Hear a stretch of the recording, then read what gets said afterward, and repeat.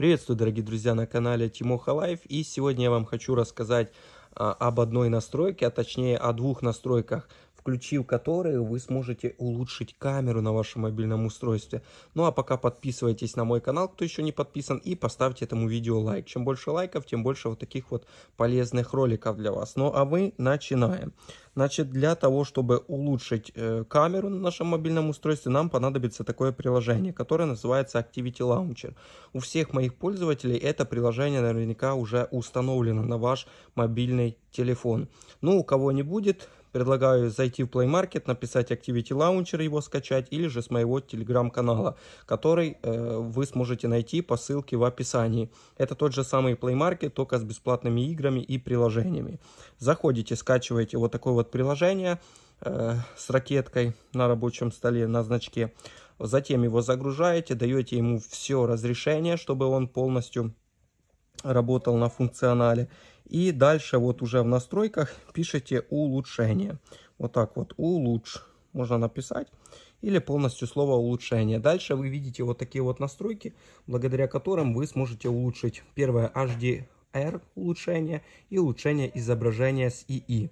Эти настройки доступны практически на всех устройствах Android. Но я показываю на телефоне Xiaomi. Если у вас другая марка, попробуйте тоже разыскать. Наверняка вы сможете тоже найти. Во-первых, первое кликаем, включаем первую настроечку. Как видите, у меня все активировано.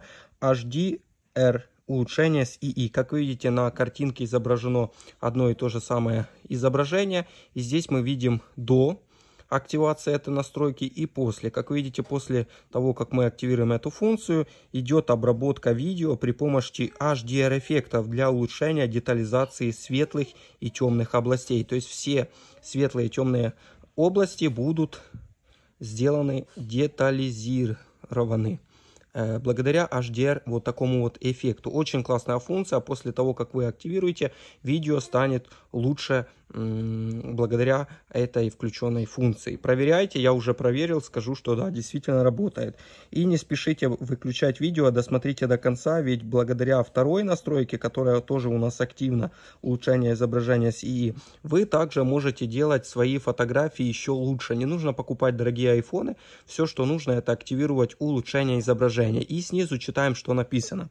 Определение объектов, например, растений, животных, зданий и динамическая регулировка эффектов отображения. Первое. Эта функция незначительно увеличивает энергопотребление, то есть все-таки будет э, небольшие затраты на аккумулятор, э, ну, процентов на 2 увеличится. Второе, можно улучшить только изображение с галереи, то есть, понятно, те уже э, фотографии, которые вы сделаете, можно будет улучшить. И третья функция недоступна, когда выбрано отображение исходных цветов или включено продвинутое улучшение.